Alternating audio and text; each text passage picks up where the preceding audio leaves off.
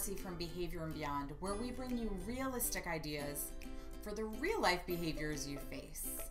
This is Dr. Marcie Ask Me Anything. It's a time where I slow down and answer questions about challenging behavior. It can be really hard to ask for help or hard to admit the behavior challenges you're facing. So here's my promise you send me your toughest, most puzzling behavioral questions, and I'll answer it without sharing any of your personal information. Sound like a plan? Well, let's see who sent me a question this time. Oh, it's a mother, and she says, How do I get my older sibling, seven, to not overreact to situations when his younger brother, five years old, the little the little one bumps into him and it's 0 to 60 screaming for something that was a small problem? Great question. Siblings can be so tricky, and it's something that I talk to families about often because one sibling often seems to be the instigator. Now, I am a fan of occasionally letting your small beings fight it out. What would happen if we didn't intervene? Sometimes small beings get into conflict when they don't know what to do with each other or they don't know how to entertain themselves and they know as soon as there's conflict, you're going to come running. So if you don't go in and intervene, what will happen? Is it possible that your small beings fighting is actually an attention seeking behavior? If that's the case, you have to do one of two things. One, give them more attention before the behavior problems start. So checking in on them every seven to 10 minutes rather than letting them play and having conflict every 15. Or when they do end up having a fight, not interrupting, not going in, continuing to do what you do, and letting them work it out. Now, in this particular situation where the older sibling is usually getting really upset, my suggestion is to not assume that nothing happened and not assume that one sibling versus the other did something wrong. Don't make assumptions.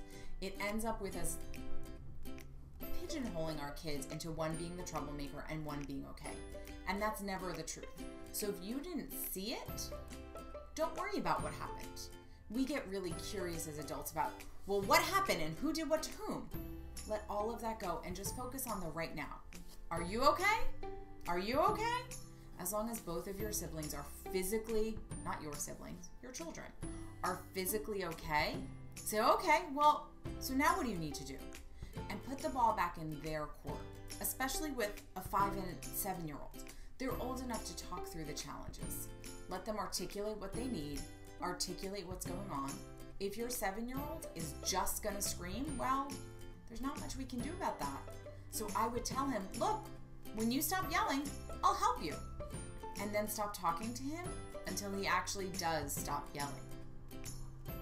Teach your children to problem solve with, each other rather than you coming in and being the solution to their problems.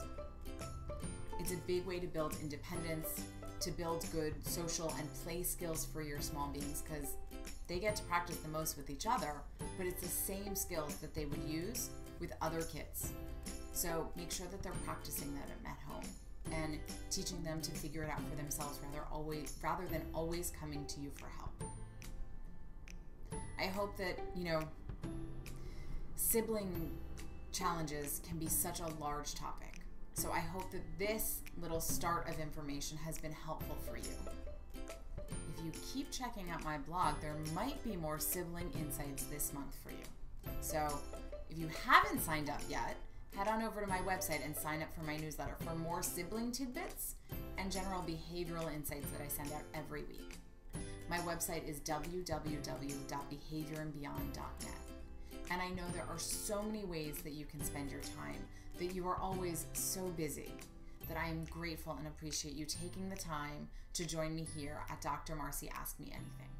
And if you have a question, send it my way. I would love to answer it you can send it to info at behaviorandbeyond.net. Put in the subject line question for Dr. Marcie Ask Me Anything so we make sure to answer your question here. And remember, subscribe below. Blue skies are ahead, Let's get there together.